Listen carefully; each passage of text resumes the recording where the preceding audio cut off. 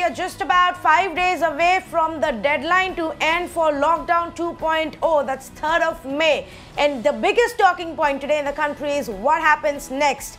So let's try and understand, you know, what can be expected. What about the economic help uh, that the country is expecting from the government? Where are we headed? Joining me right now is the principal economic advisor to the finance ministry, a known and reputed economist, Sanjeev Sanyal. Mr. Sanyal, thank you for speaking with us.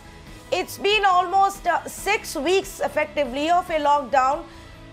Shouldn't we now be moving towards a larger set of relaxations? Um, I think, uh, as the Prime Minister made clear uh, yesterday, this will be done uh, taking into account the uh, data that is available.